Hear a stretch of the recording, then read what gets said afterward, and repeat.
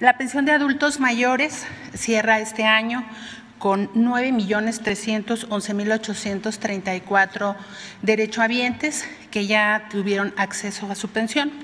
La inversión social eh, final de este año son 150 mil millones de pesos. Si ustedes recordarán, el señor presidente en marzo de este año presentó un plan especial para la pensión de adultos mayores.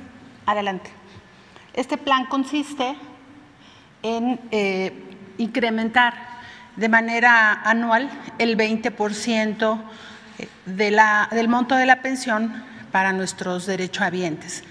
Pero ese plan empezó este mismo año, eh, inicialmente con el 15%, de tal manera que de 2018 a 2021, en este año, se incrementaron, eh, la pensión pasó de 1.160 pesos a 3.100 eh, pesos bimestrales. Este mismo año se aumentaron 400 pesos y para el año 2022 el monto de la pensión será de 3.850, lo que significa que eh, durante estos tres años ha habido un incremento de 2.690 pesos en el monto de la pensión que ya están recibiendo los adultos mayores. En términos presupuestales, ¿nos ayudan con la que sigue?